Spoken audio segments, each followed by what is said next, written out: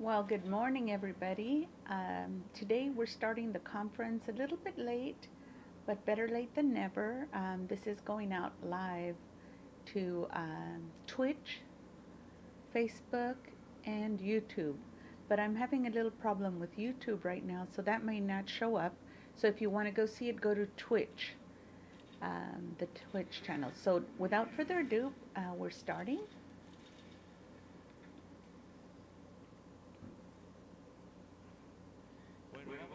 Well, so today uh, we're going to inform, as usual, and to take this dialogue that's circular with the same purpose to inform all Mexican people regarding how the uh, Republican government is going, how the advance that we're taking in the purpose of transforming Mexico. We are going to have information from the doctor Sandoval. She's the Secretary of Public Functions uh, related to a special program to account to count with the support uh, with this the support of the people uh, combating corruption. We're cleaning the government from uh, corruption from top to bottom, and we need the support of all our citizens, that they not uh, be left uh, alone with the obligation of uh, public servants, but also that everyone helps, all the citizens, in order to end corruption in our country, to unearth corruption. And it's very important to have participation from citizens, from everyone. And it is not a simulation like it used to be, where they used to invent programs only to cover uh, the files, only to fake that they were uh, combating corruption when in reality the corruption was actually tolerated and permitted from above. So this is different, and we do need the support from all the citizens because it is necessary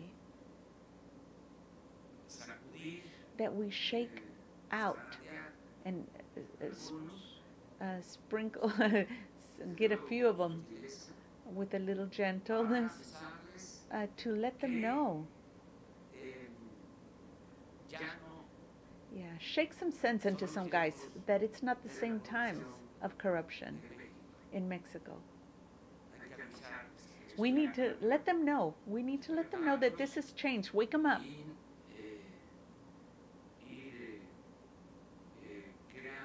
And start creating an ambient that is different, an atmosphere characterized by honesty and in the way of life and as, as a way of government. And so Master Ricardo is going to uh, to inform us. He's the institute from the institute to return to the people uh, stolen goods because there was a, a, written document with a solicitation for uh, forgiveness uh, that the house not be sold of the citizen uh, Chinese Mexican and to halt this process that you'll be informed of now that this will not proceed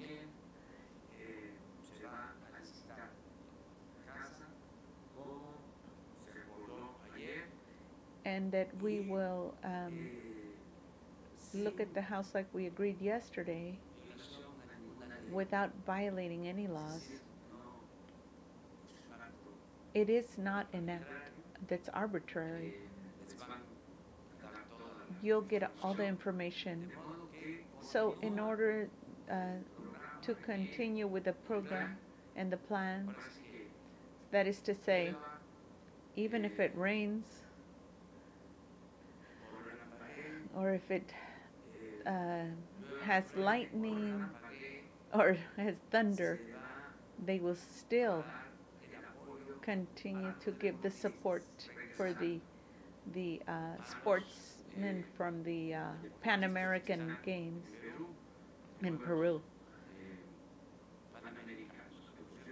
That yesterday they won another gold medal, and they're doing very good.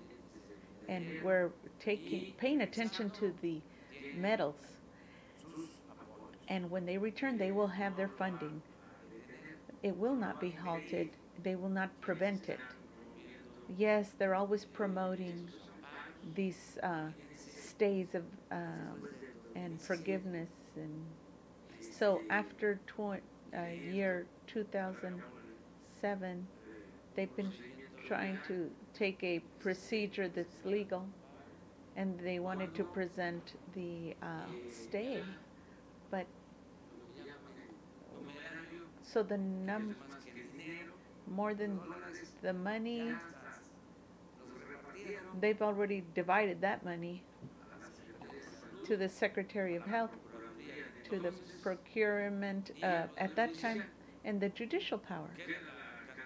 So the little bit that's left, the uh, so two hundred thousand million, uh, two thousand million dollars, and then they discovered that they had this house. So now they're asking for stays again. They're they're very that's very strange. All this matter. So now we're going to start uh, with Dr. Merena Sandoval, and she will inform you regarding this uh, uh, program to combat corruption. Thank you, Mr. President. Thank you for the media that is here for this announcement from the Secretary of the uh, Function, Salcedo and De La Paz. And we're announcing today it's the calling of citizens uh, that are fighting corruption, whistleblowers. That was a pending uh, debt for more than two decades. So as of two decades, the state of Mexico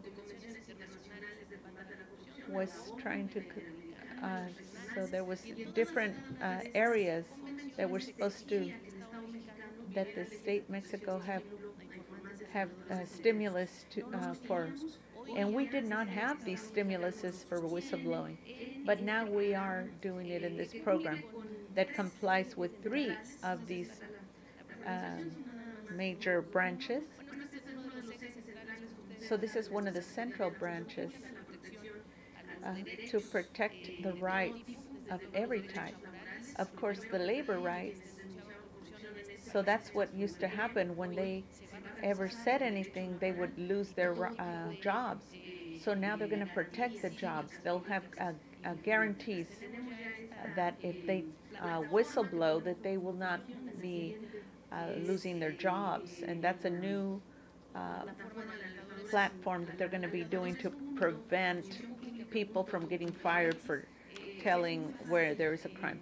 So now, so now it's a very simple uh, to utilize this system. If you look at the picture there, it's uh, it talks about um, how they would uh, fight corruption, and we uh, we're taking the protections, and we've met our conventions, and we've assessed and started uh, um, the uh, embassies and all these good uh, Spain, all the embassies to from Latin American countries also, they've adopted the plans. And so we adopted about 12 days ago in the function uh, with the representative of UNODC and a few other uh, assigned people from this convention. And it's a, a stimulus program for the uh, internal uh. So these has a, these have a few things. They guarantee confidentiality. This is very important because we we will of course you can't have an anonymity because um, you could just but but what's most important is confidentiality and there's a lots of responsibility when they are alerted and they are obligated to guarantee confidentiality. And accompanied also with uh, the citizen will be uh, having protection. And then also proactivity that it's that it not just be ignored um, that it need to be acted upon. And they can't just have like a bottle they threw into the sea and hope something will happen so the acts that they can be alerted. So there's grave acts of uh, corruption that need to be alerted. And uh, like if they have a, a sexual assault or you know um, where they're uh, violating human rights.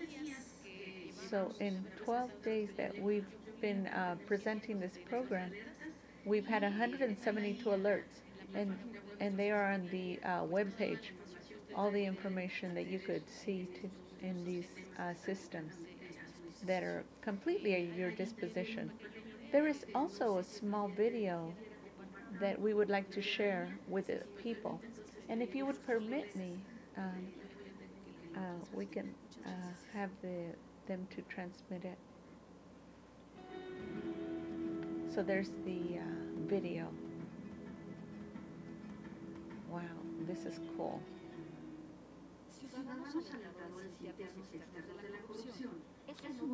Citizens uh, alerting regarding corruption. It's been initiated by the president, and it's also been liberated by the secretary of uh, public function. The new secretary of function account, counts with a program that in, that um, encourages uh, to inform regarding corruption. It's very different, and it's got the new ethics to be cautious of the stigmas and dangers of telling that need to be addressed. And we need to need to uh, let people know due to our uh, conscience, uh, civil conscience. One of the uh, strategies that is most um, the best to corrupt combat, uh, corruption is to include uh, the people. But so anyone who sees something, you can also, uh, you know, uh, be complicit if you don't tell. So these are strategic heroes that uh, have honesty and will combat corruption and alert. The importance of this program, it makes them give the uh, people the tools and adequate for the national reality where now we can identify to uh, uh, systems to combat corruption. With a new program with anonymity and confidentiality and will permit to safeguard to those people that are alert. So it's open to uh, people's own honesty and their uh, human rights. And the alerts contribute to combat corruption and Im impunity in Mexico. If if I was going to uh, tell, I would want to be uh, protected to make sure that I was, and I want also that they would not become lost in the bureau bureaucracy and they not actually work on the thing that we would actually want there to be some kind of judicial uh, situation that when they did that corrupt act. So the program also um, sends a law that stimulates uh, telling on uh, uh, corruption. And so that is the, the job of secretary. So you need, they need to so that's where you would uh, announce it. So I'm going to copy that so I can, uh, so we can uh, use it later. Sorry, guys. I'm sorry, but I had to do that. So very good. So this is what has to do with um, the Secretary of Public Function and the support to reinforce and combat corruption. That the citizens uh, participate and let uh, people know. Uh, I also want to take advantage now that um, to inform regarding these cases in the presidency of the Republic. You see that we let you know this information that was lies regarding the consumption of some kind of sausage or chorizo. it was like a big like scandal. And all this is good to show to show the cover or of our adversaries. These uh, newspaper people, the media, writers,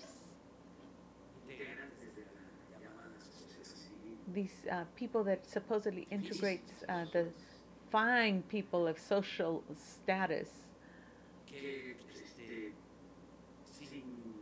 That without any evidence, without elements, data, they just throw it against us.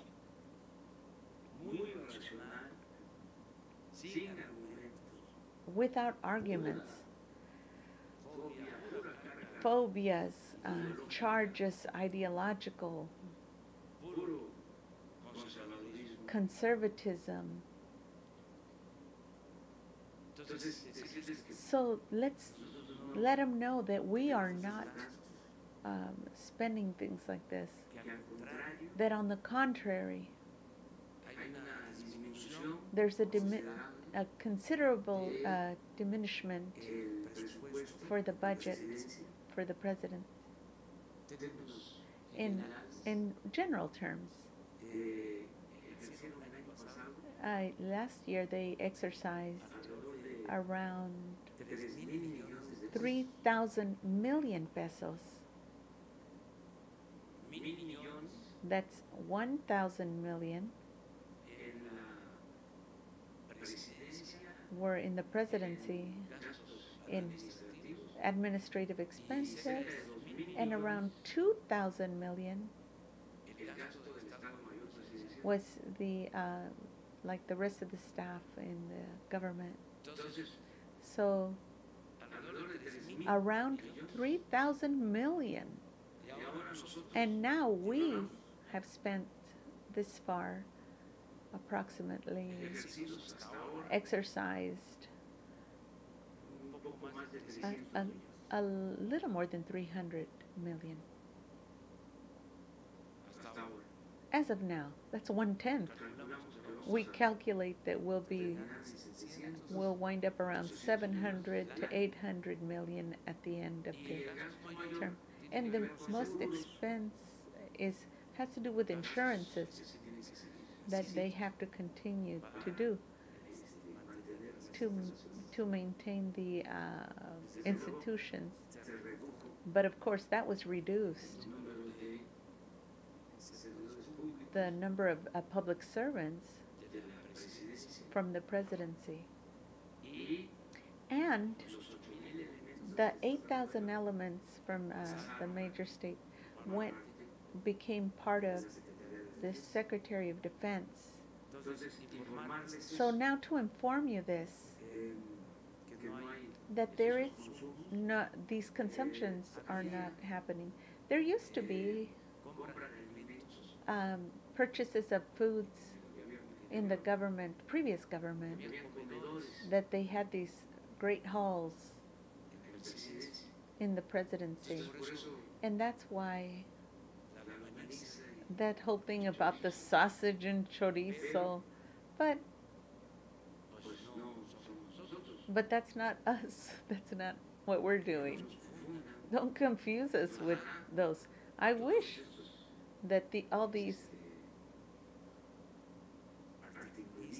these guys writing these articles and experts, members of this civil society, would uh, offer a um, uh, to to be uh, forgiven.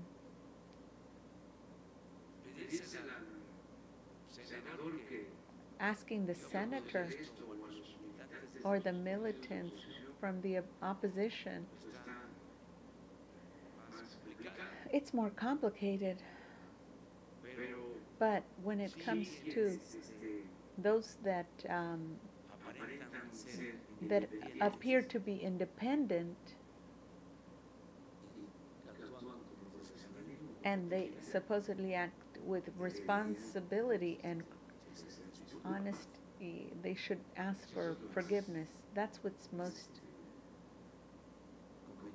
convenient in these cases. An act of honesty.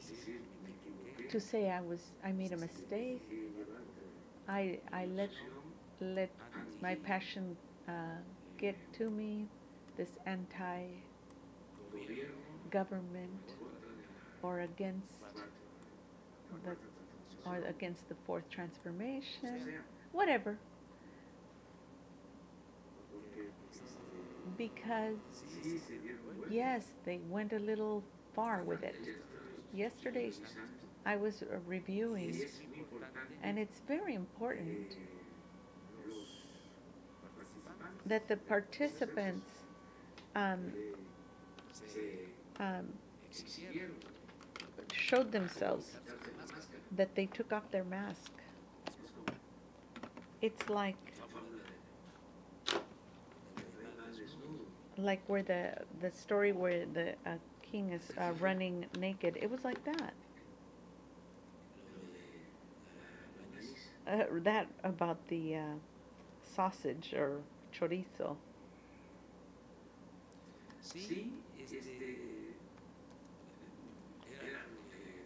Yes, it was what was uh, spent and what they acquired.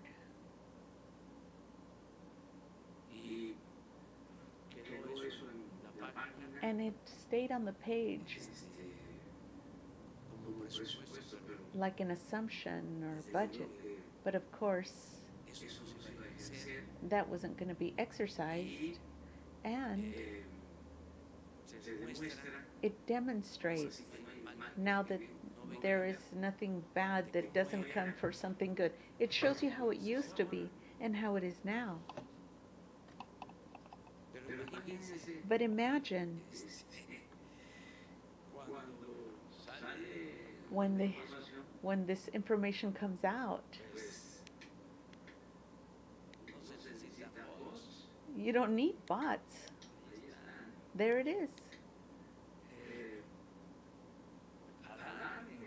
And they start slamming.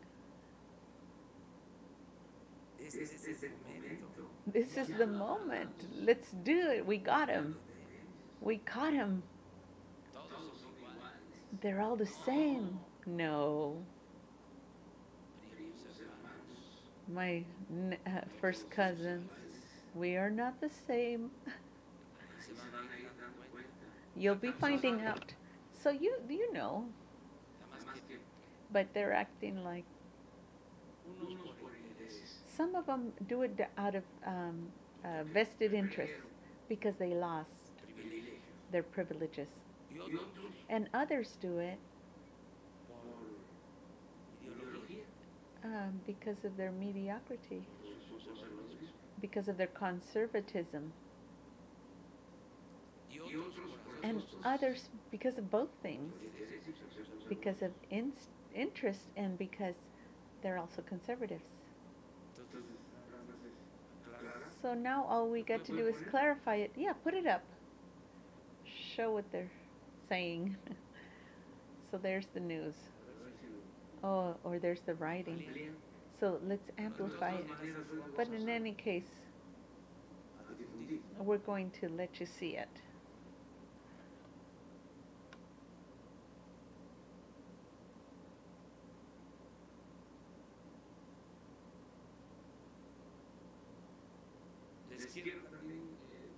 And I also want to let you know that the expense of the major state was considered a national security expense.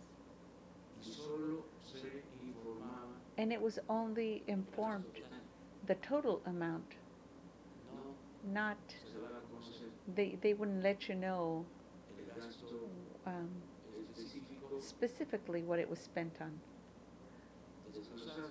That was uh, in, made like uh, disclosed.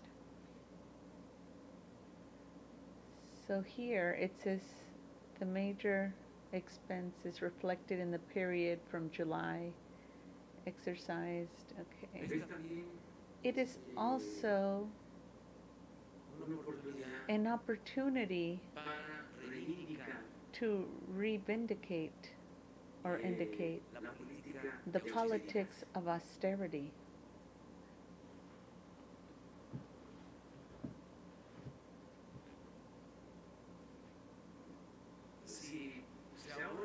If you save and you finish the superfluous expenses, there's no need to increase taxes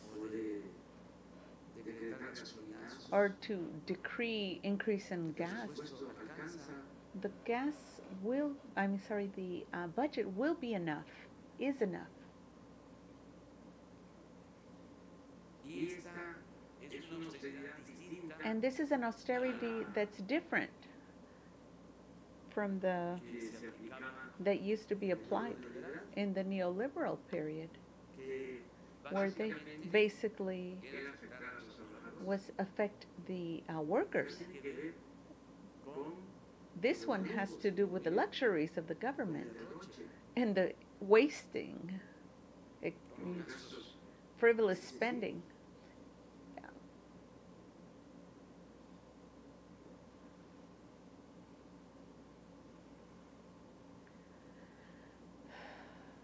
Wow. So there you could see what the money was spent on specifically. So you can, we'll keep you informed of what we spend the money on. And this is an opportunity to show you. So we'll end with this, and now we're gonna go to, to this matter of the sale of the house, of the residence.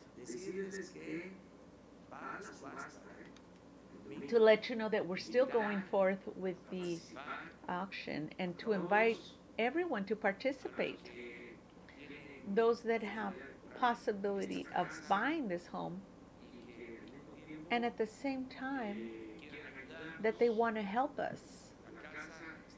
The home is valued at approximately hundred million pesos, but actually the purpose is to uh,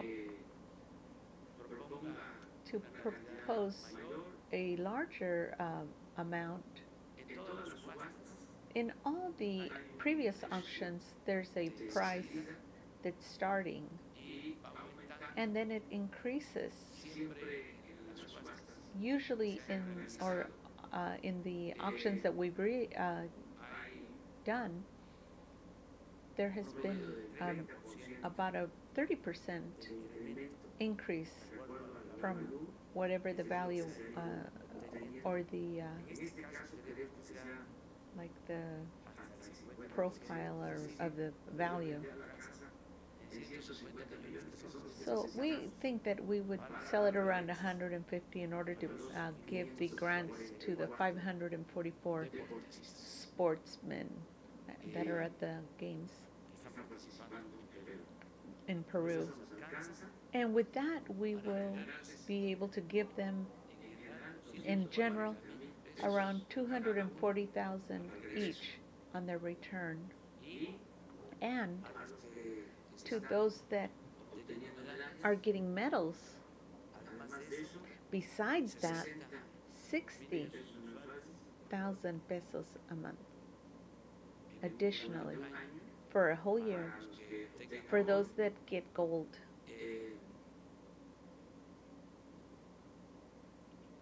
40 mil.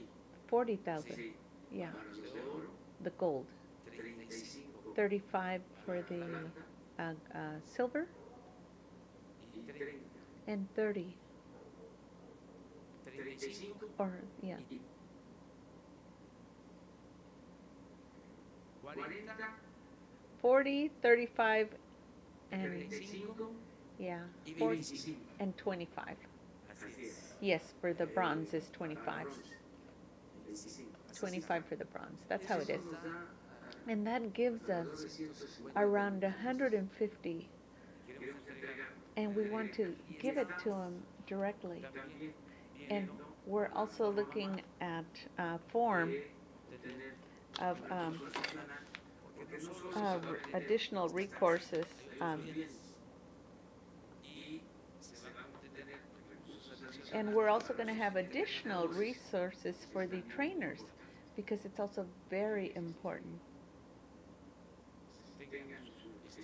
so they can have their stimulus. So we're going to ask Ricardo to give us uh, details regarding this matter.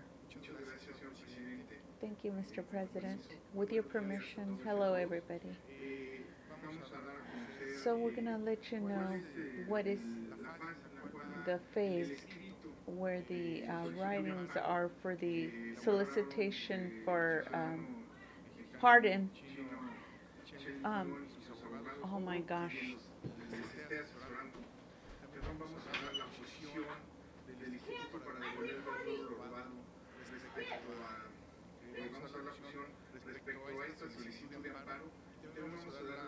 La posición del Instituto respecto a la subasta del próximo domingo.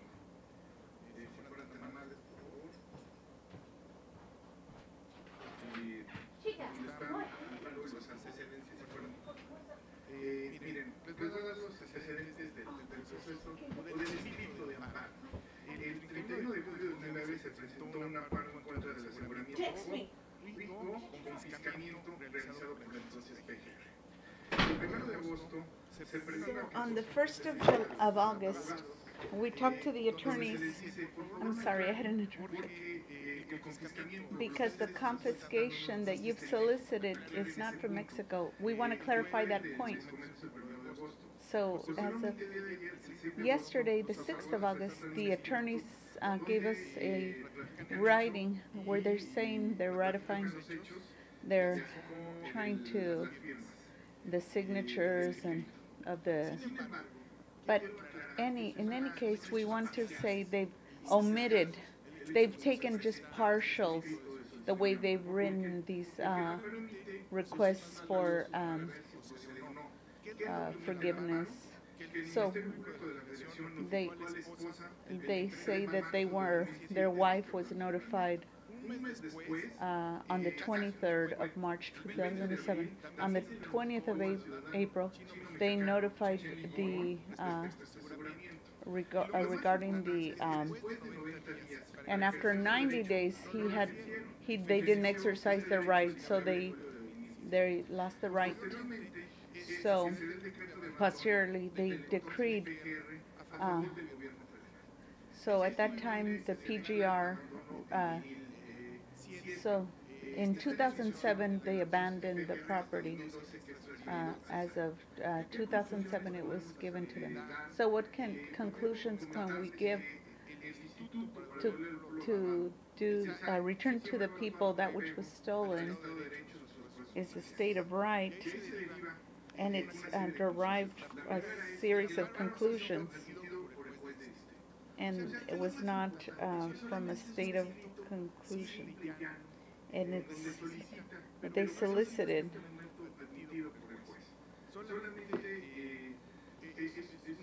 it's just a writing, and we've looked at it. The, the uh, attorneys are trying to uh, use a strategy to prevent the uh, sale of the property.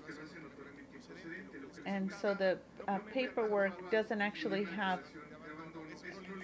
they don't even inform the authority regarding the date of when they actually did not, um, that it was abandoned since 2007 in favor of the federal government. And another point is that there were other goods that were already sold without um, without even any complaint. But now all of a sudden there's complaint around 180 million pesos and also the abandonment of the property.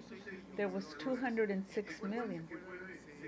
And, and at the end of the destination was in three parts, judicial power and the PGR and the Secretary of Health. But in that tenor, in that context, yes, they clarified that one-third went to the judicial power. Around, about 65 million went to the judicial power, 12 more than what is implied by the uh, sale of the house. And never did they give a request for um, a, um, you know, request for stay of, of uh, the property. So his attorneys are assessing and did not solicit within where on the money, which was other things, which were way more than the house. So the Institute for the People um, that are protecting the money of the, uh, are returning to the money of the people. And so, and as the president says, we're going to transform this property into resources that are going to go to the sports uh, teams in the uh, Pan American Games. So, in uh, judicial terms, the matter is completely uh, uh, legal for us to sell it, and we're going forth with it. And we're going to have more than a legitimate case and to distract.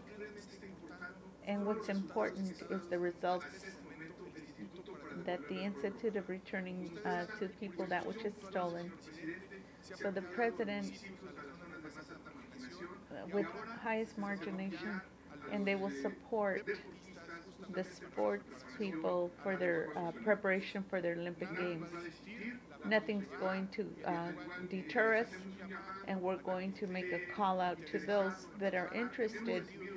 And we've already gotten some um, but, um, values, and, and we do have a few bidders that are have told us that they are interested, very interested in this property, and we're going to take it forth because we have judicial um, rights, and we always work uh, with the state of uh, correctness and uh, with the law.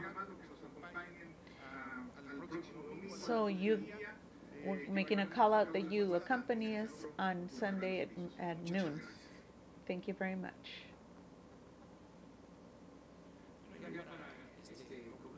So now we're going to conclude this matter to say we're going to act legally, nothing by force, all with reason and with rights. We are not going to utilize any mechanism of intimidation, use of force,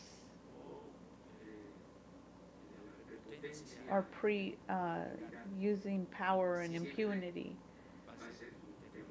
It will always be a matter of caution and with um, sticking to law and legality. But we're also going to be ventilating things. All these things before used to be hidden. It, they just used to keep it within judgments and they didn't ventilate it and let people know. The people didn't know what was happening. Imagine how it goes. How are you going to ask uh, someone to proceed with a uh, uh, stay on this if they've already they've already turned over the major part of the goods that were captivated?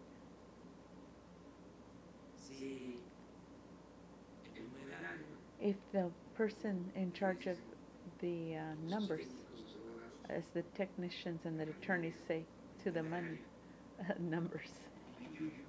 Oh, I don't know what BUU is, but anyway. It's already been divided. So the money, the biggest chunk of the money was already divided from the Secretary of Health apart de los 200 millones. from the 200 million dollars. Another part was the uh, Uh, uh, uh, Justice Department, and the third part, which is equivalent to about 70 million to the judicial power. So now that's what they're going to use to resolve the uh, stay or protection. está esto? So how is this? This is very interesting. Es un buen tema. It's a good uh, topic. Two six-year terms have passed, and now este, no hay there was nothing, at, there was any uh, supposed judicial situations or certainty of judicial matters. un buen tema. But this is a good uh, topic. But it, de cómo termine este asunto, but depending on how this matter ends, two things: the support for the sports people is going to be made a reality as they return next week. They will have their funds, 544 uh, of these uh, sports people. The second thing is to invite participation for those that would like to acquire the home to help us, including, as Mr. Ricardo used to say, that they go, that they be there personally. It can be it can be done by phone actually. It could be a mechanism like from a company, like they can do it offer by the phone at the auction. They will inform and they will uh, clarify and arrange it. And also to tell you for possible buyers that we are uh, that we will guarantee that the government guarantees because it's established by the law distinction of dominion if there's a judgment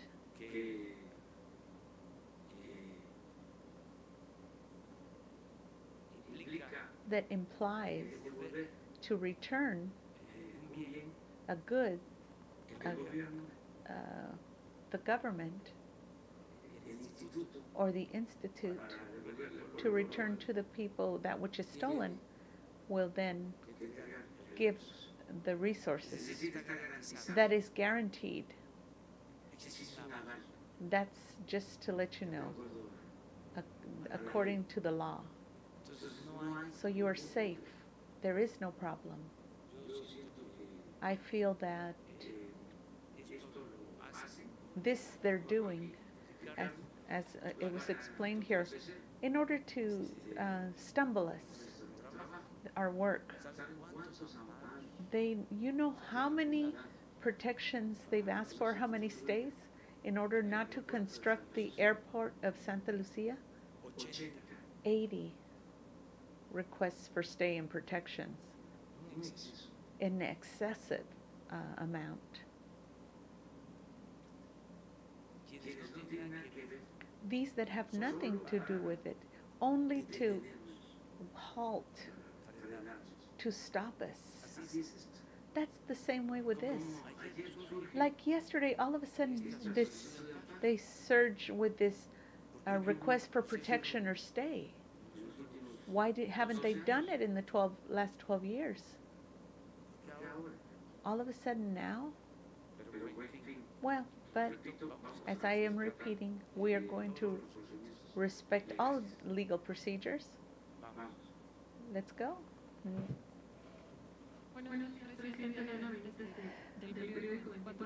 24 hours. Um, she wants to uh, ask, explain the debt that's on the property that was abandoned since 2007. So how much, so who's going to cover the expenses that were left abandoned? The transferences, how that works?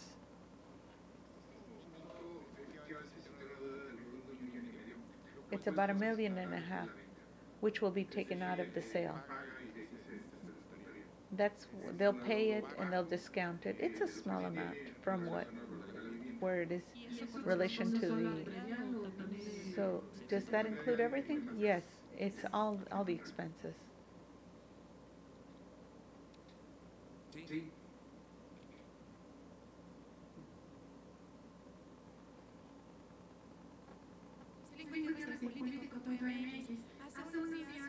A few days ago, you commented that the Chinese Mexican belong to a politician.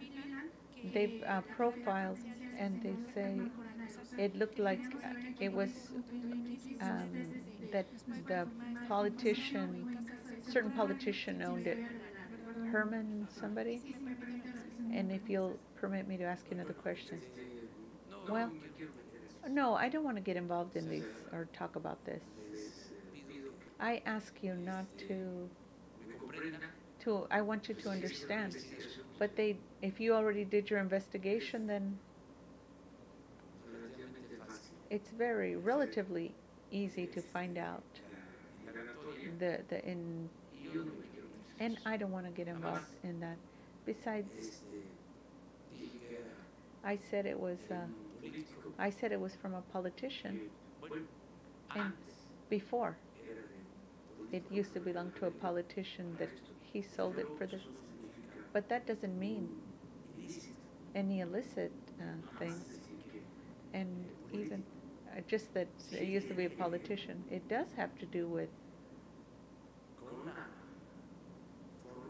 with the matter, the way that po- politicians used to live. That's what it has to do with.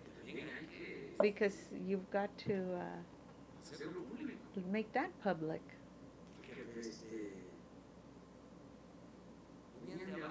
Because they used to come from the bottom.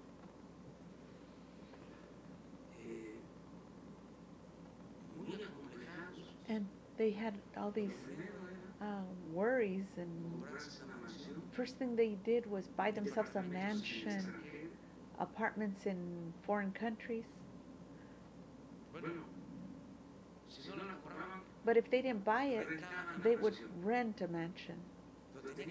But it had to be in the in the very it had to be in Santa Fe, Pedregal, the mountains.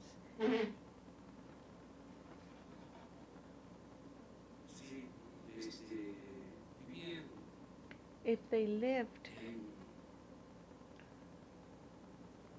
in uh, in uh, Roma, in Tlalpan, or in Benito Juarez or Sestalapa, and they scaled and they would get go into the residential areas. And if they came from the States, that they studied in public schools, they came from the bottom,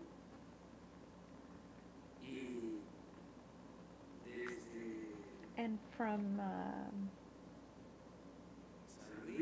San Luis, Hidalgo, Chiapas, they would go to the Lomas, like as soon as they had a job and they had uh, been charged with the position. That's the characteristics. Inclusively, it's important to uh, let you know that the novel of Fuentes, in the most region, uh, transparent that in the after the revolution, two politicians, many of them became bankers, and they made businesses here in the city of Mexico with the speculation of the lands that they that they took uh, charge of. Speaking of of Las Lomas, it's interesting the story of how they founded uh, Las Lomas.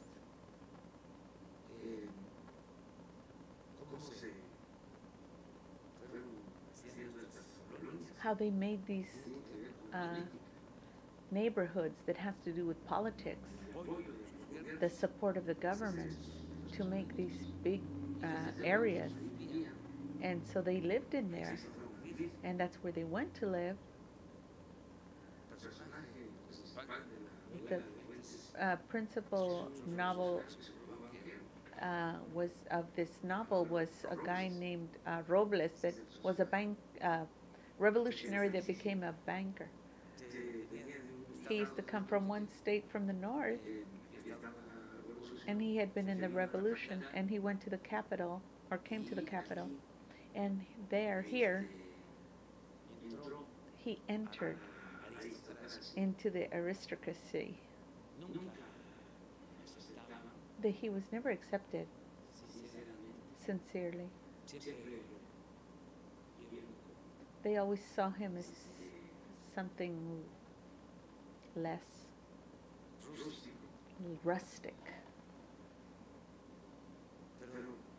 But that's the story. How they uh,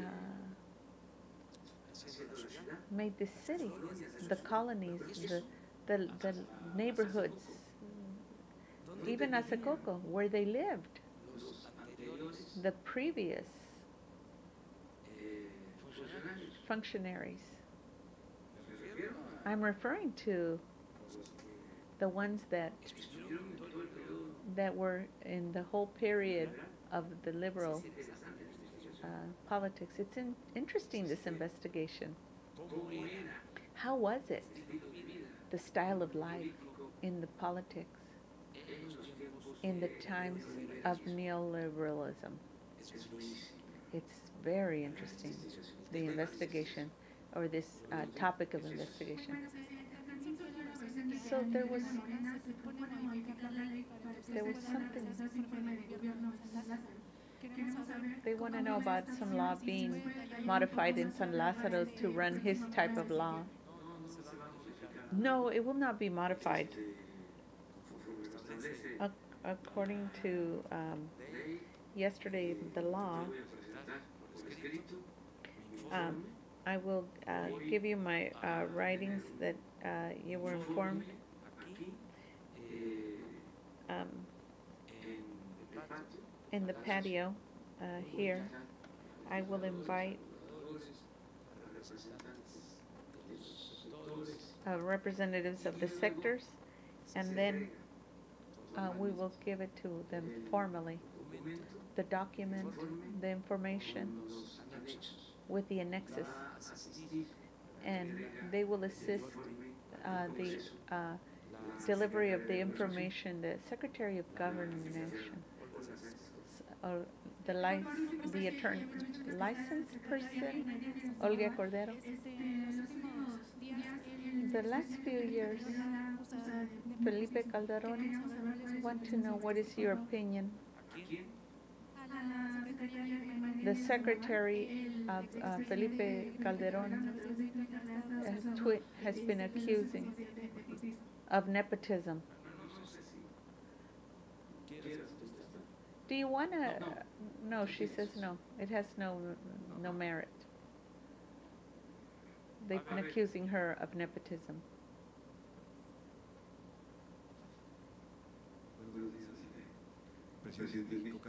So the president, um, he has two questions. Here's my job. Where, where here's the seven, uh, uh, there's uh, the ages of people in power right now. So there's 70s and 80s. Vladimir Putin, Russia, is 65 years old. Donald Trump, that was born in in 46, is 71 years old.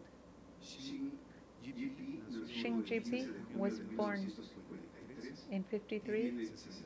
He's 64. Ramnath Kovind was born the October of 45. He's 72 and he's the president of India.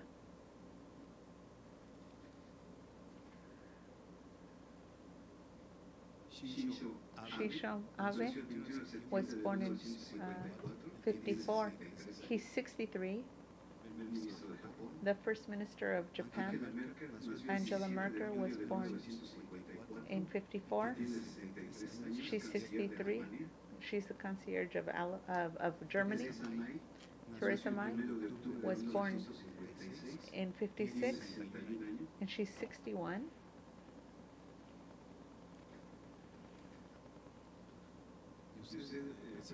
And you, the President of Mexico, uh, 79th President, was born in, in 53, and you're about, yeah, uh, 65. So, President, my first question is, and yesterday I wanted to ask, that if in the table of security, have you already gotten that there was 30,024 uh, arms, according to the defense, uh, they were legal arms that were uh, brought. So the Institute of Studies, International Studies and Development that's in uh, Switzerland, they say that in our country there's 16.8 million legal arms and illegal arms in the hands of the people in the whole country. We are president after the U.S., one of the most armed after the U.S. What actions do you plan to execute immediately, your government, to take away arms from the people? So we're going to ask the Secretary of Defense to inform us well regarding these data. So I offer that next week, the Secretary of Defense inform regarding all that has to do with arms. It will be very interesting that you will get to know the regulations that exist and the paper from the Secretary of Defense and the and the licenses for uh, carrying arms and the type of arms and what is bought by the uh, Secretary of Defense in arms and and what comes into the uh, country and contraband in arms. How much do they estimate that is out of control? That is to say, arms that are in hands of delinquents and that and what is being done and what's going to be realized in the future that they let us know all the data and all the information yes it's a good matter thank you my second question aztl the neoliberal of the ex-president salinas of gortari by, by the sub uh, uh, he's using the commander, certain commander. They are opposing the the the making of the train Maya.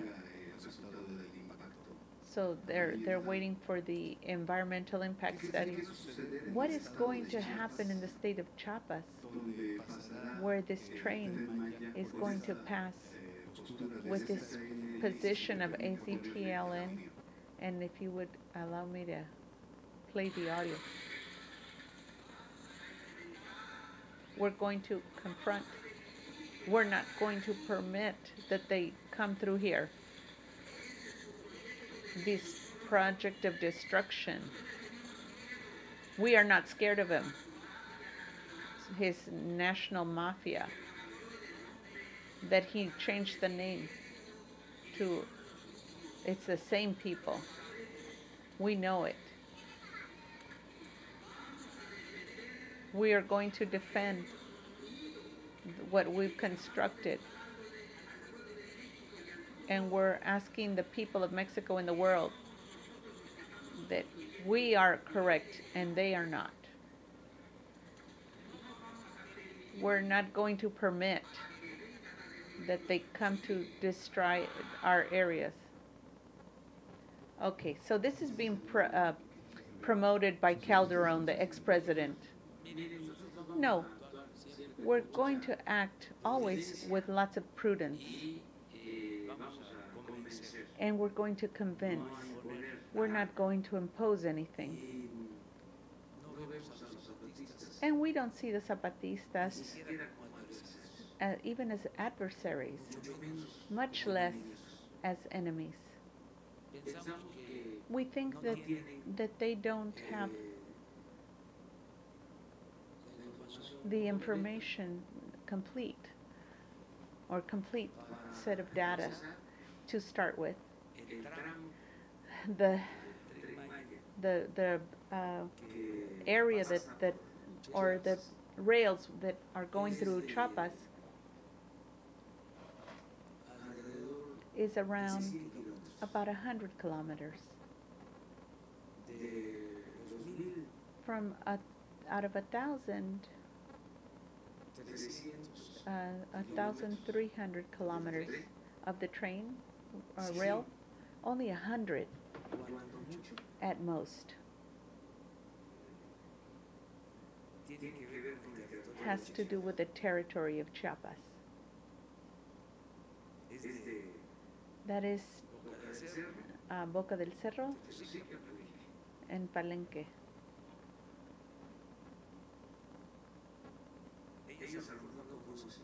Maybe they just don't know Mexico in that area. But there's another thing. 100 Those hundred kilometers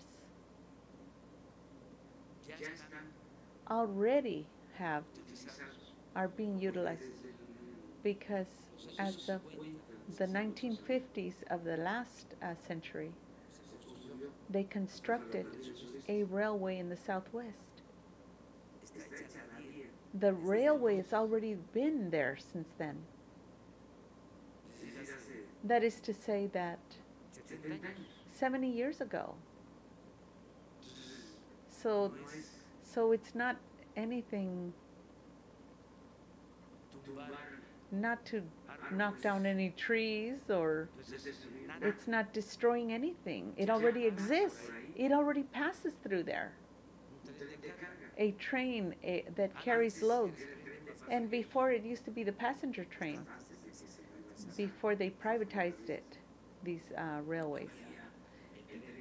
They had the, the railway train from the city of Mexico for passengers that went all the way to Yucatan and to Mérida, even to Valladolid.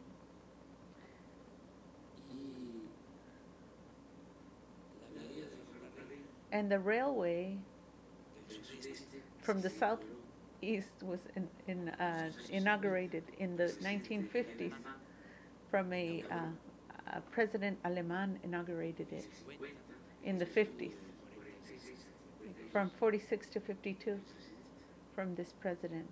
Uh, that's his term. So it's just a lack of information. But anyway, we will act in a very respectful way, in a, a respectful form, and we will not fall into any provocation. Thank you very much, Mr. President. That's ridiculous. It's already there. They don't even know it.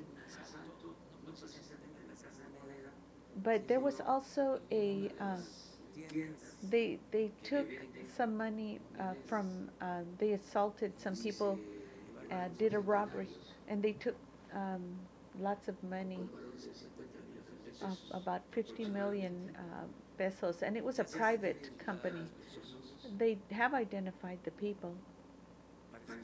It, it appears to be that it was, they took uh, pictures, and the investigation is open. And it began the government of the city, the investigation. And I understand that they're going to bring the case to the uh, Attorney General. But yes, it's already being investigated.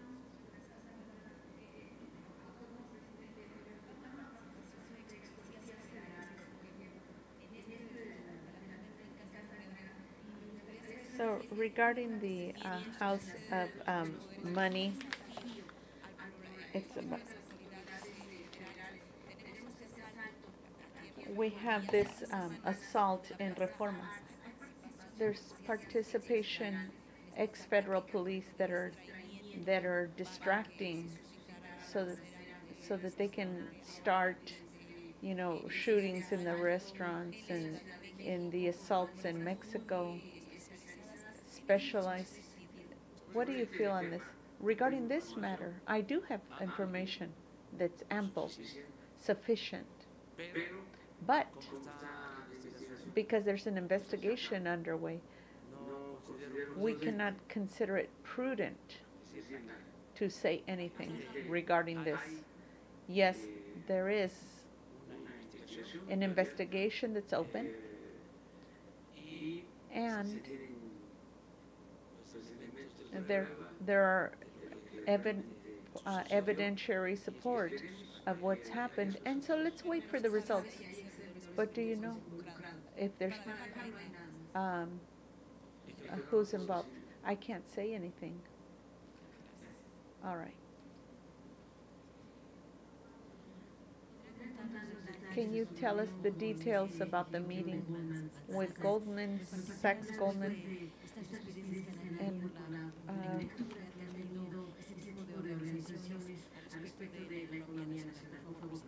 uh, regarding the economy? Yeah, I met with him in a very good conversation in very good terms. They had lots of confidence in Mexico, and they went with Hacienda and uh, met agreements, economic and fin- financial. And it was very agreeable, this discussion with this representative from the financial uh, company, of an international uh, company. Yes, um, look, there's not only confidence in Mexico. Here I can say this, and it's not to boast, but the information that I have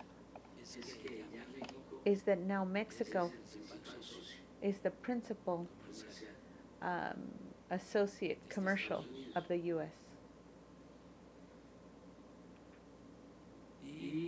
And I can also say that it's grown a lot, uh, foreign commerce.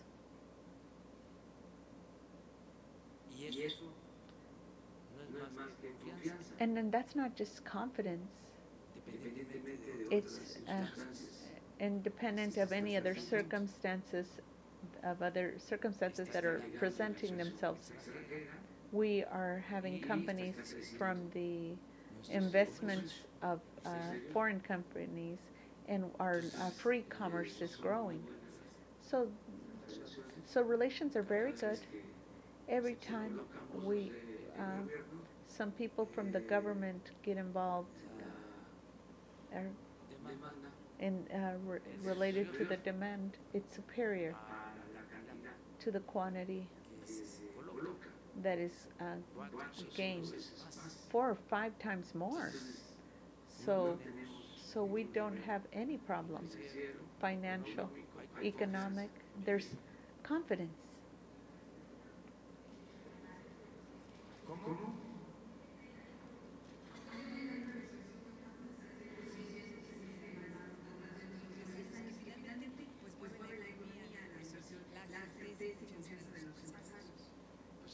Something about the confidence of business people.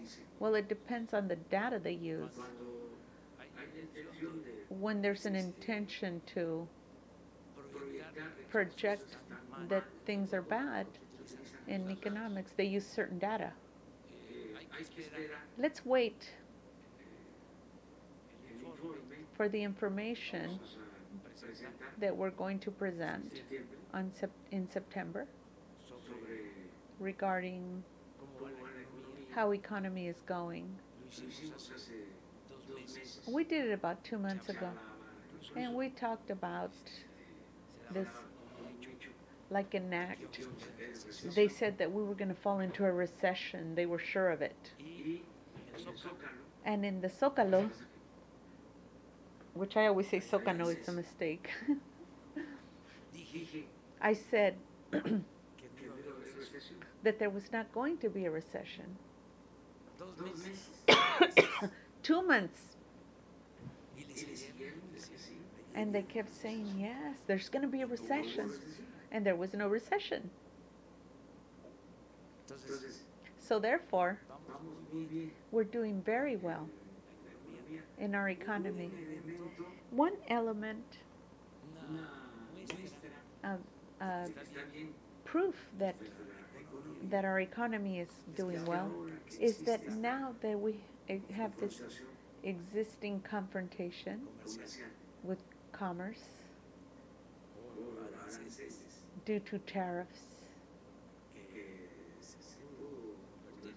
that could have been converted into, and there was problems that we, and w- there was moments we thought it was going to be a big problem between the U.S. and China. Our our peso sustained it. It resisted loss. You know what the experts used to say about four days ago?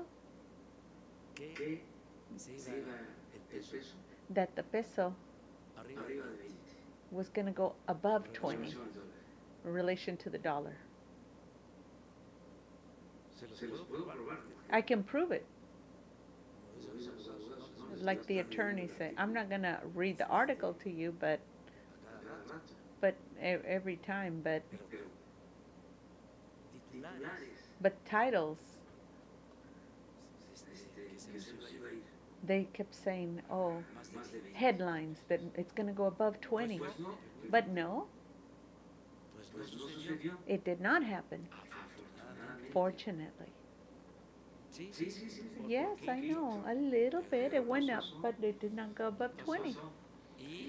And it's holding strong, resisting.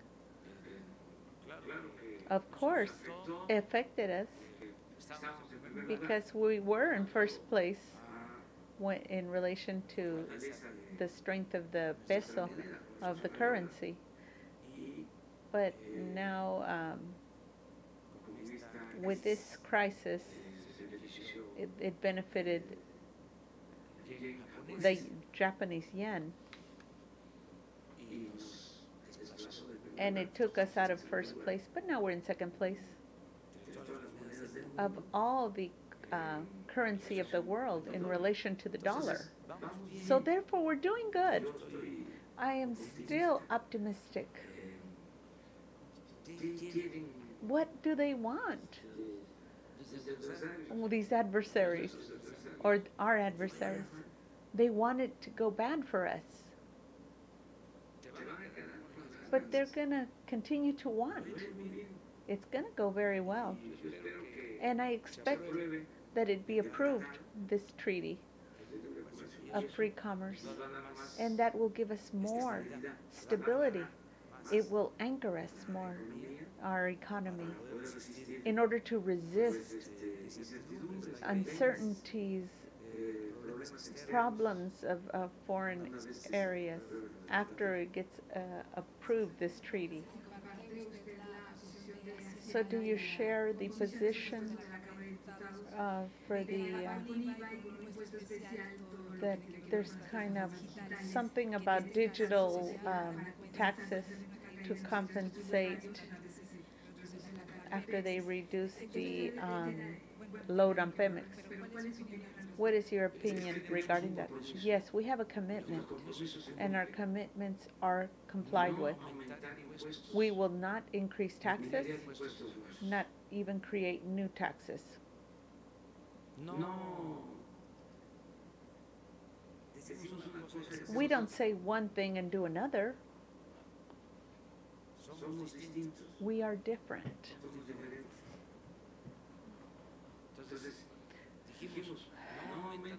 So we said the taxes weren't going to go up. We are not going to increase the debt. There's not going to be increase in gases. And we're complying.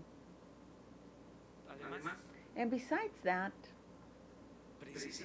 precisely because the economy is doing well, we don't even need any measures, extraordinary measures.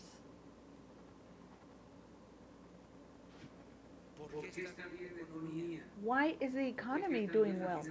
Why are financial uh, public surface uh, doing good? Because they didn't take into account these neoliberal, these two variables that technocrats did not take into consideration, speaking their language. One, Una, la corrupción. corruption. Ellos no No, they did not combat corruption. They encouraged it. Por eso estaba mal la economía. That's why the economy was bad. Porque se puede tratar de Because you could try, treat um, or use any, the best economic mo- model, the most perfect one. But if you have Corruption that- was uh, reigning in Mexico, any model would be a failure. So no, there is no corruption, and I keep explaining how we're doing. So that that's what this meeting is for to to reinforce and combat corruption. no tomaban en cuenta. This they were not taking to, into account. And the second thing No tomaban en cuenta that they were not taking into account era la austeridad. was austerity. They acted like like they had some kind of uh, worry that they were little pharaohs. They spent so much. It was even embarrassing. They looked ridiculous. I remember that one time they did a ceremony in Acendero because a country had interest in selling helicopters to Mexico. And they prepared for the Mexican function a uh, military parade there in Europe. And there they go. And they do homage. And in the end, they bought the helicopters. Isn't that embarrassing?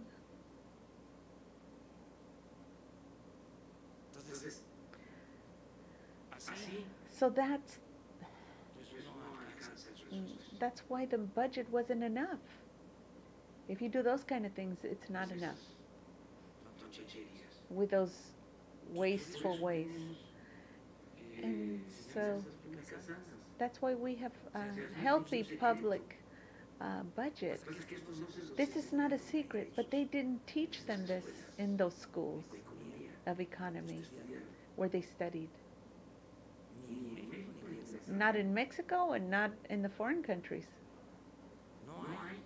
There is no treat, treatment or este tema. regarding this uh, matter. que The- economía, la corrupción. The damages that are caused by corruption and wastefulness al crecimiento económico to the de las naciones. how it affects economic growth in the nations.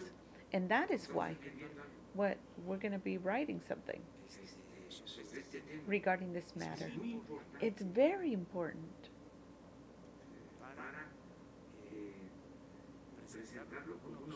to present it as an option, as an alternative. Very good.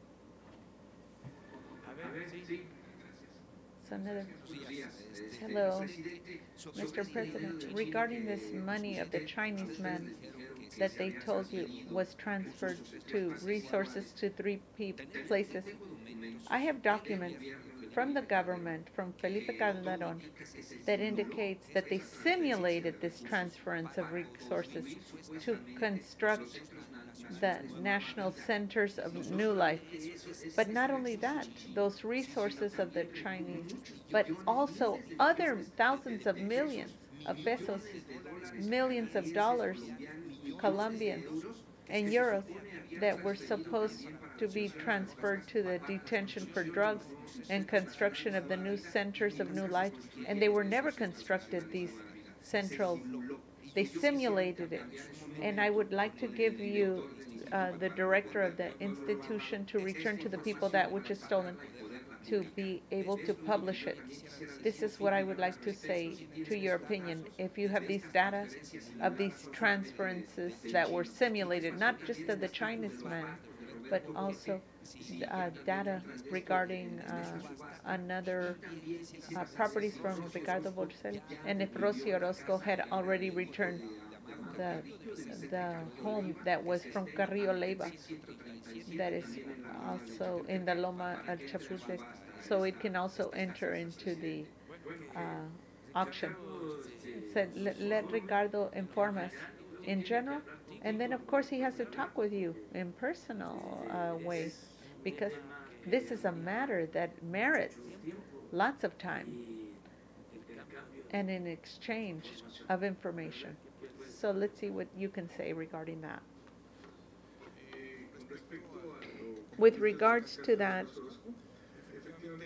effectively, we accounted with uh, uh, uh, homes in the areas you're saying.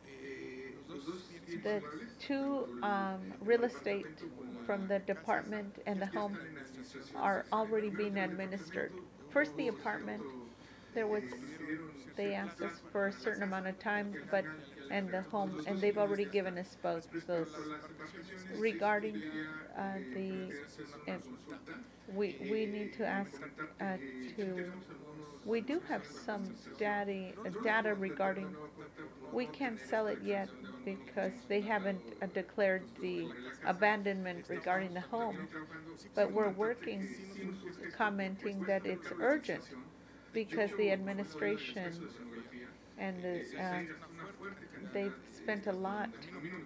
I, I didn't do it, but the um, previous person, they've spent a large, um,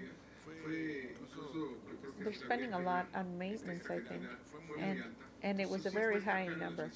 So the administration of these um, embarkations, so I don't have the total data, but I can consult with you. And finally, regarding the first point, of course, we'll exchange the documents and with, we'll exchange ideas and look at your documents. And regarding this uh, auction, since you're already, um, you know, protecting the, uh, that if they can have some of the money destined to the, that were assassinated in 2000, if there's any money left over, so some of the money could be, they're very uh, lamentable uh, sums that they're living on. Yes, always. We will destine the money to causes that are just, always. First of all, to the humble people and the poor people of the municipalities that are most abandoned in Mexico.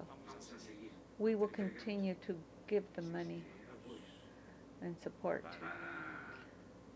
But for, in order to, so they can construct the roads, because they are, they have uh, problems with a bad situation with the roads and other necessities in their areas. And also,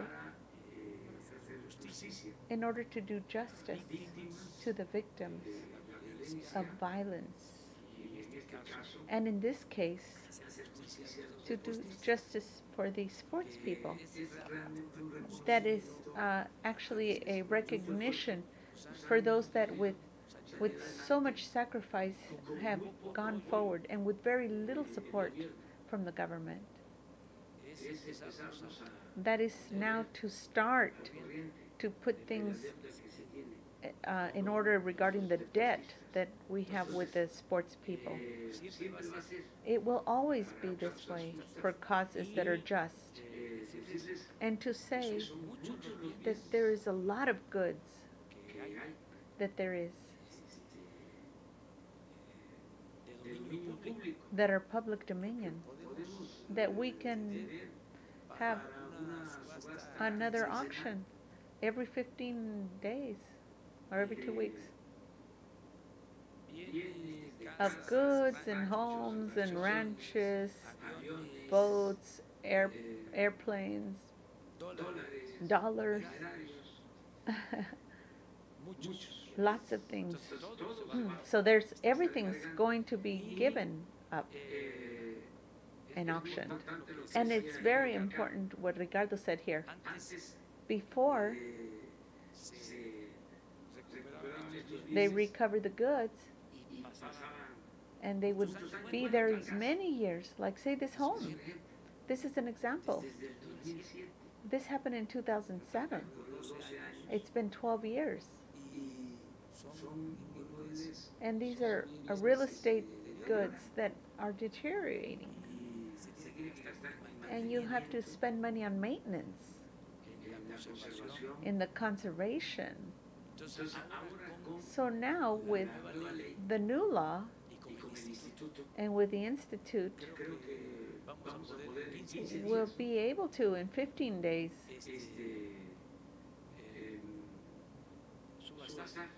uh, put another auction up and deliver that funds to the people. What is needed, whatever they get in 15 days. That's that's how we do it now. That's a very brief, uh, rapid moment. So then the people, the, the relatives of um, newspaper people that have been, you know, killed. And the next question, yesterday you received a letter in, from, from a lot of organizations where they are documenting and testimony that, that federal and are doing arbitrary detention and, and they're, they're putting uh, the youth to let Alfonso Durazo to let him know to stop doing this uh, against consumers uh, for uh, consumers of marijuana. I don't have this information, and, and I'm informed of everything. So, no sobre la carta, not regarding the letter. estoy hablando de I'm talking about about they have not. eh, Uh,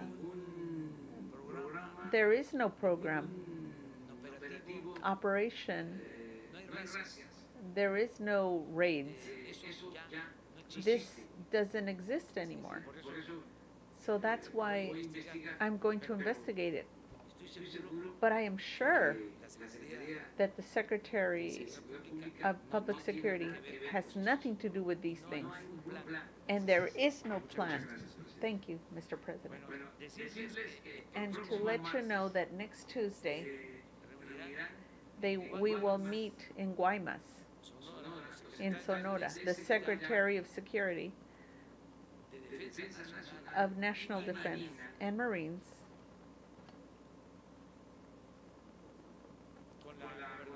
with the governor of Sonora, Claudia. Pavlovich,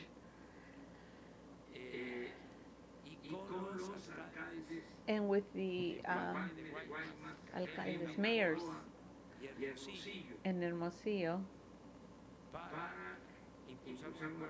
To encourage a um, security defense situation. This is because a companion of yours uh, two days ago uh, notified me of the security uh, situation in Sonora. And we said we would give an, a set of information on that, that uh, Alfonso Durazo would inform.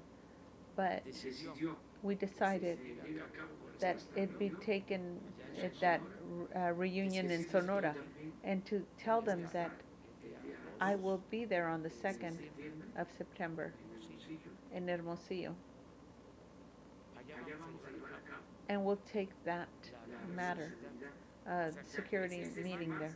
So this Tuesday, and then again on the 2nd of September in Hermosillo. And we'll mm, have the security meeting. And also, after that meeting,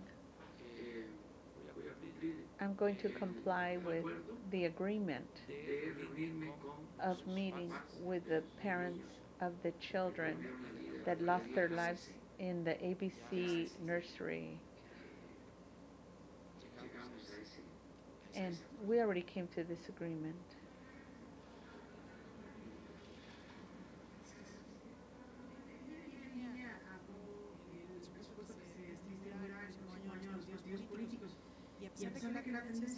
So, something about the tendency, so they're gonna increase the, the amount that they're gonna spend, that they're gonna be spending five thousand million pesos. And what do you think the Congress hasn't made it concrete changes and reform in order to diminish the cost of the uh, politicians' spending? I'm making a call out to the directors of politics, um, or politicians that they need to behave in a consequential manner. They cannot be getting so much money, these political parties. They have to reduce their expenses and they have to return the money to public hacienda, a percentage of these prerogatives. I'm making a call out respectfully. It's not an order.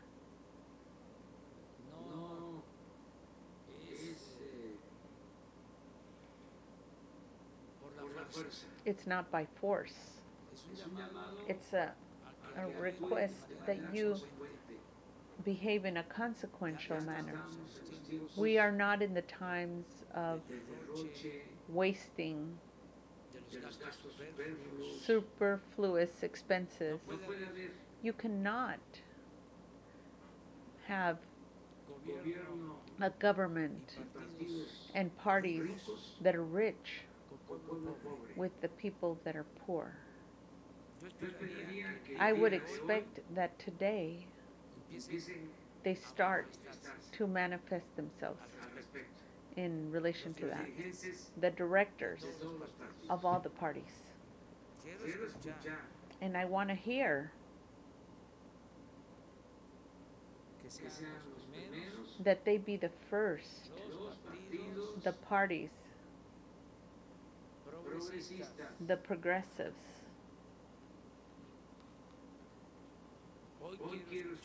And today I want to hear it. The position of the directors of the parties. At the very least, they need to reduce their expenses.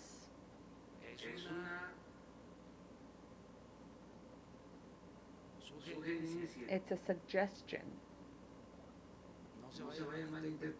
Don't misinterpret. At the very least, by 50% to half.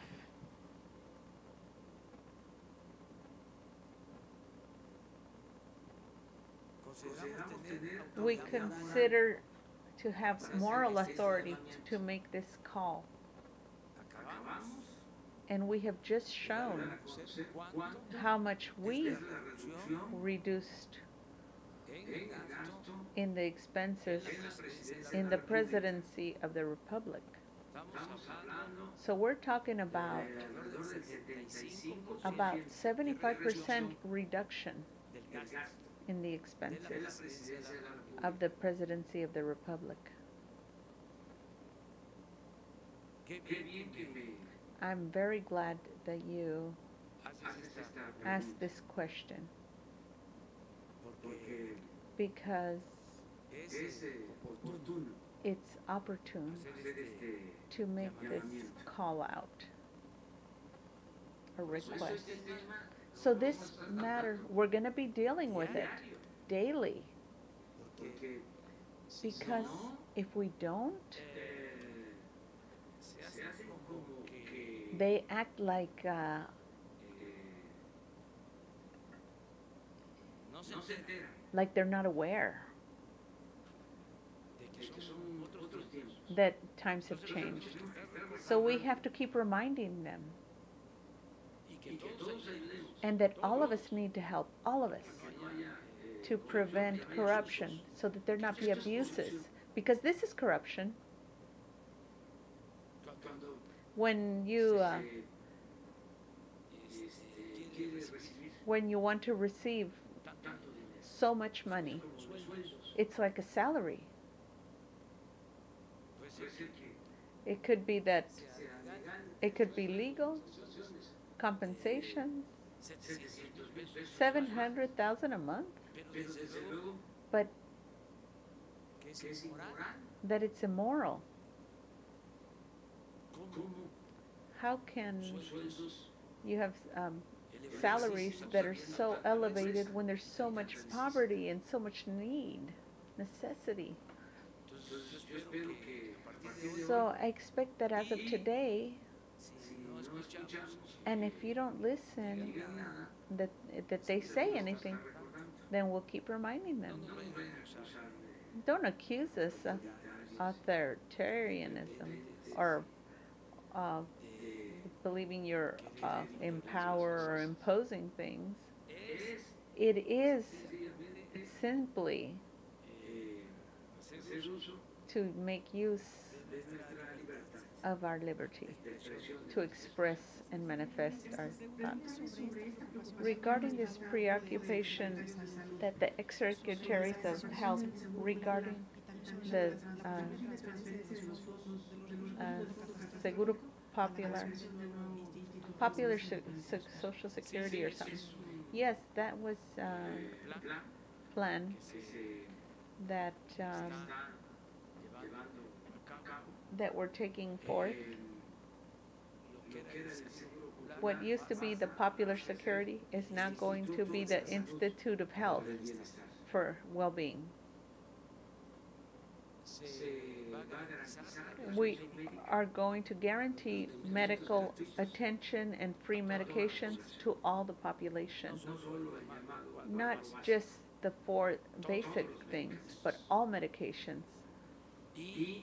And we are going to strengthen the system of public health with the utilization of that fund in order to not have a, a shortage of medications, uh, doctors, to improve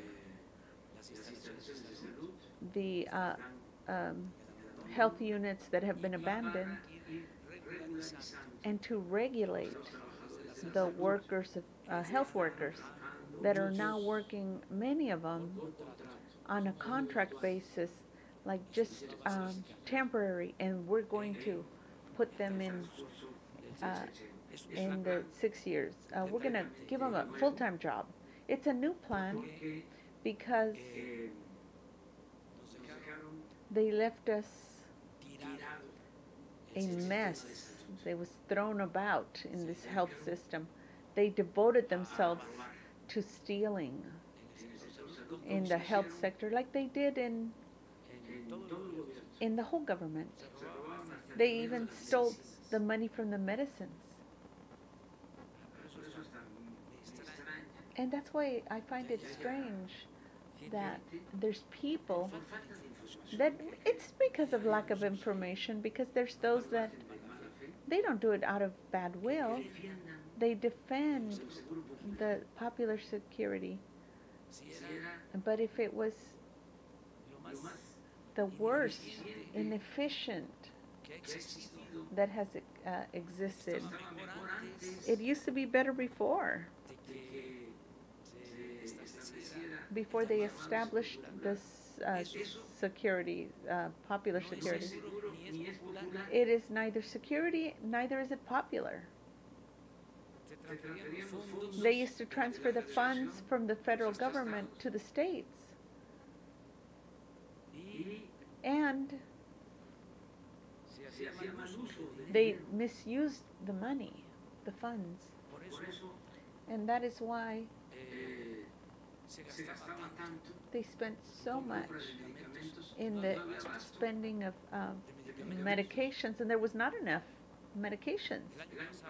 Last year, they spent mil millones ninety thousand million pesos and in uh, materials, medical uh, supplies. Three companies used to sell mayor parte de the major part of those medications. y los centros de salud, And the health centers, las unidades médicas, the medical units, the hospitals en el abandono. were abandoned, even more so, due also to de la la política política neoliberal the neoliberal politics because they wanted to privatize um, education and that only the one that had money could could afford to go to school. When- and they would close the doors to the people that wanted to go into study for medicine eh, las facultades de and the faculties of tenemos now as it appears we have less doctors than we need. Including in uh, social security they have vacancies of doctors for specialists. But they don't even we can't even get them We're going to have a plan a special plan at- we're going to request from doctors that include we're also thinking about asking people that have retired and doctors and nurses so that they can help us not just to because because they're going to be permit to continue to have their um, their money in addition to what they're getting not just because of that but making a call so that they can help us to recover the system of public health. And there is people which has retired that wants to contribute they want to help they want to participate in the fourth transformation and in this case to raise up from the floor the system of public health Look. how it is in the case of social security. And this is official. It's a norm. Uh, let's say a medical unit that was that is in an outskirts uh, area. It has a possibility of counting on optimal conditions with 120 uh, medications. And a hospital a rural hospital 300. 300 uh, types of medications and in optimal conditions Un un hospital hospital and a hospital from this regimen ordinary más de 600 about 600 medications Y y un un hospital hospital and a hospital that has specialties in the city of Mexico, mil a thousand, a thousand two hundred medications. So how,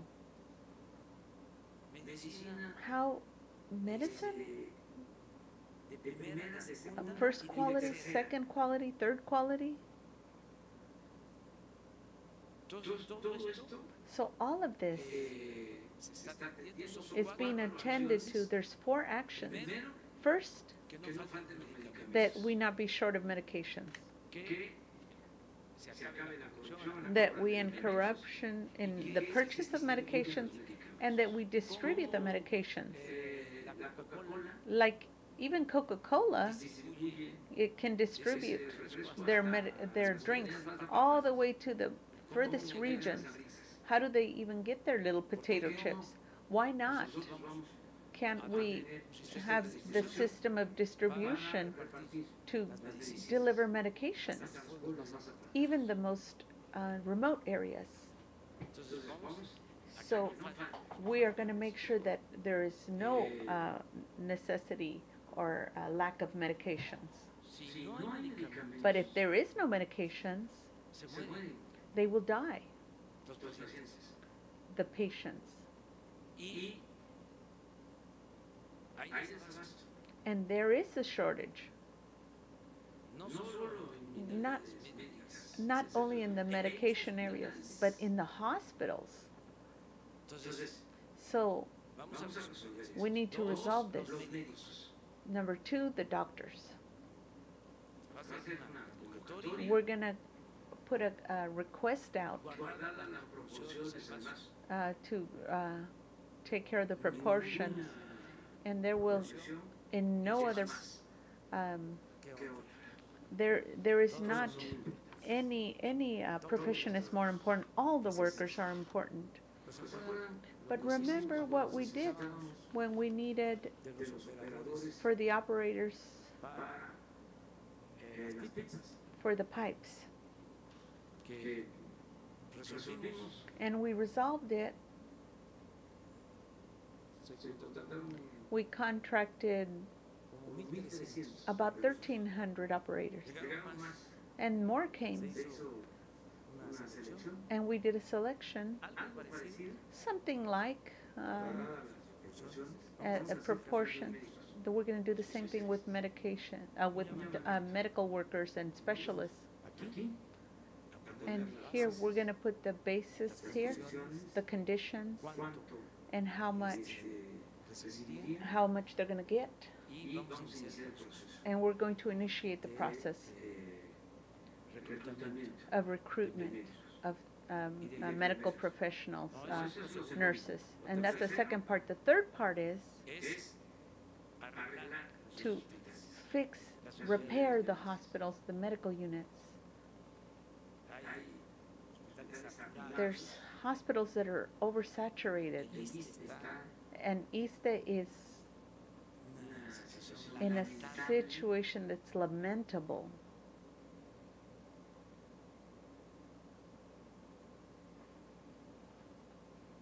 el seguro The security, above all, like Social Security, it's like their hospital uh, system. All the hospitals in the health centers where they attend to open public, they're doing very bad, especially where the poor are. And last of all, the regulation of senators. Little by little, we're going to be going to make it a base. That is my commitment. So for this program that I don't want, they want to know just part of it. People that you think that people that are informed or expect them to be informed, well, well, people that are conservative uh, but intelligent, I respect porque en serio because it's serious. sin tener toda la información Without having all the information, he came out and gave his opinion regarding this matter. Well, para para mejorar mejorar el estos in order to better this, sistema sistemas de de salud salud this system of health,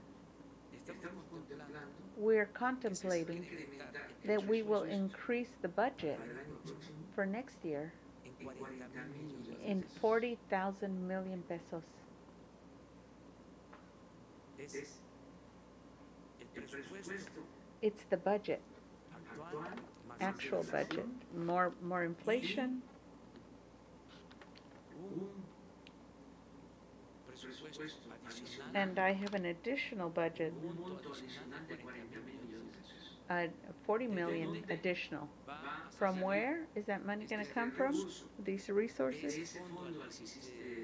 The, that, that, uh, budget that you, uh, that has about seventy million, uh,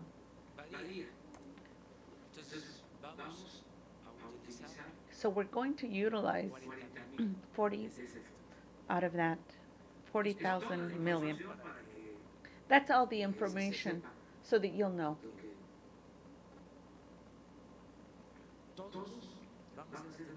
All will be attended to. They will continue to be attended to. They will not have a problem. It's a fund.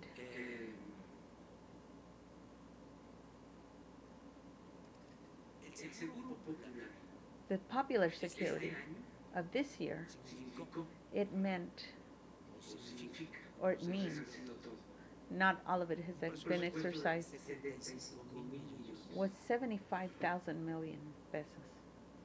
estamos Estamos hablando hablando para We're talking about attending cerca de 50 millones around fifty million of people.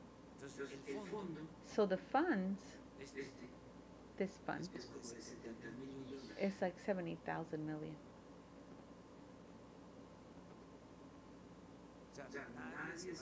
So no one will be left without being attended. On the contrary, we will better the services.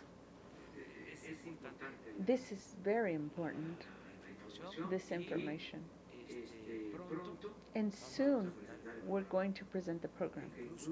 Because including now the Institute of Health and Well-being and the three areas for attending los los problemas que problemas que the problems el sistema de that the system of health has. y mi Mi compromiso compromiso And my commitment is, es de que vamos a tener pronto, is that we will soon have, muy muy pronto pronto, very soon, sistema de salud a system of health that is first rate. And that's why I am making the runs through to the hospital.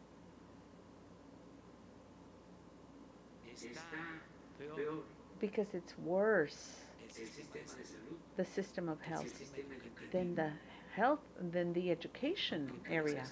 But even if that's incredible, Además que me llevaría tiempo and it would take me a lot of time to explain this, but it's very, Todo el mundo se fue the whole world went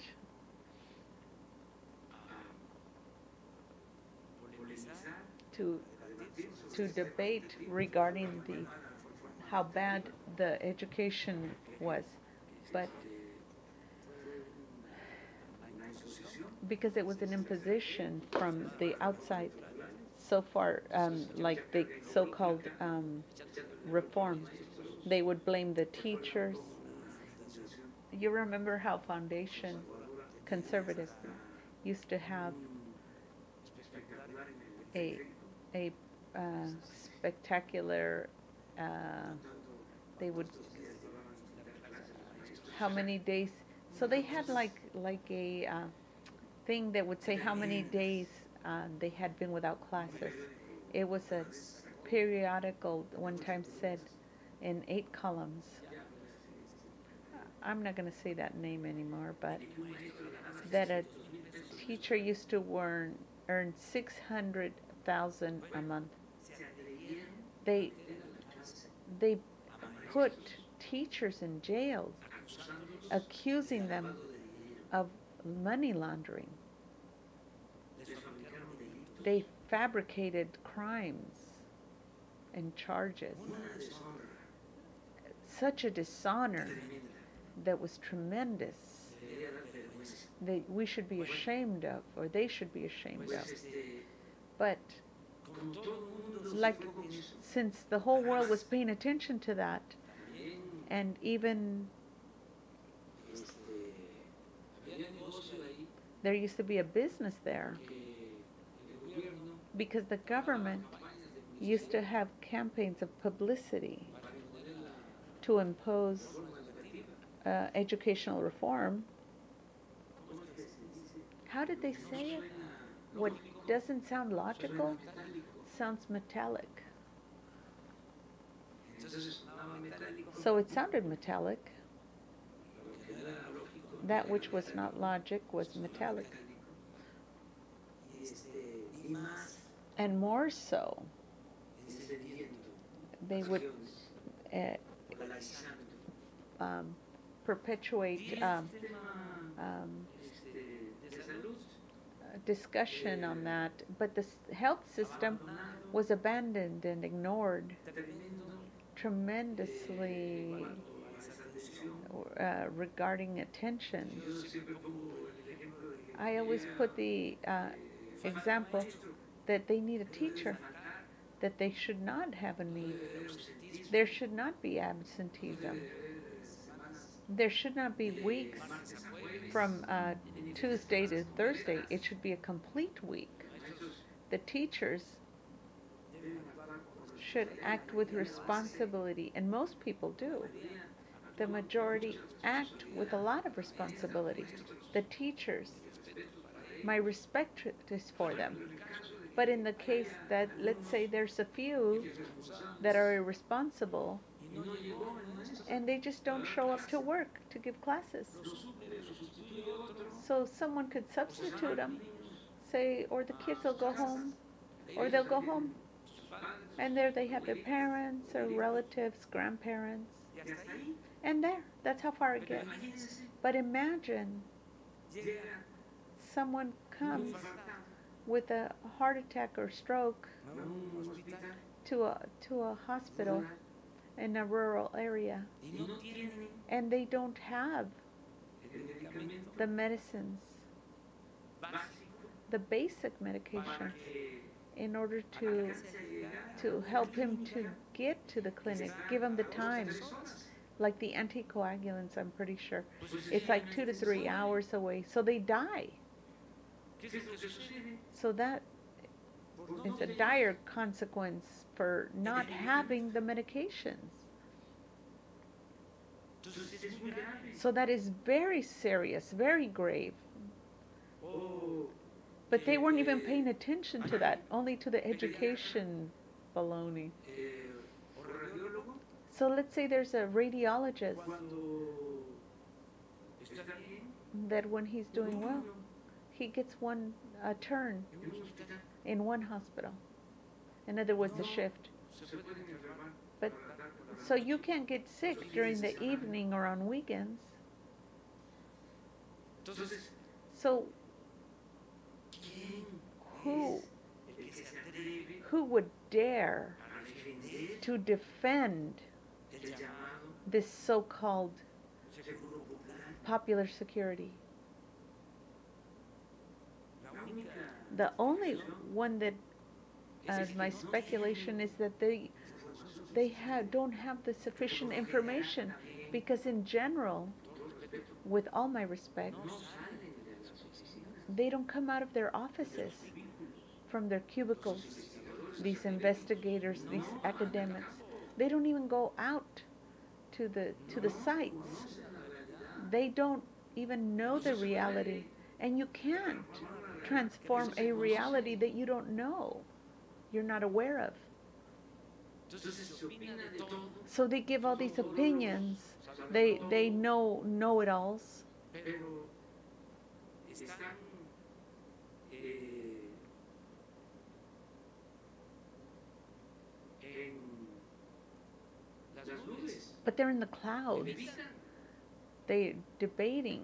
no tienen los pies sobre la tierra, no They or they're levitating. They don't have their feet on the ground. They don't know. Like in the train Maya. That's just a lack of information. They already have the railway there, and they don't want it. So what is the damage? If the train, if the rail's already been there for 70 years, how's that going to impact the environment? Este, un tren So it, it results that it's gonna be a train, that it's gonna be from Palenque a San Cristóbal. to San Cristobal. Yes, of course, then that would be different. Como la autopista de Because like, say the, like there's, there's a, uh, a road because from San Cristobal in Palenque, because they, uh, we can't, um, uh, be waiting because we need it. The, the, the road is in very bad condition from Palenque to San Cristobal. It's the same road, we're gonna amplify it. But I don't think that should be affecting anybody. But we have to take that decision because there's a lot of accidents in that road. Lots of problems. And what's more, one of the states, uh, one of the most beautiful states in Mexico and in the world.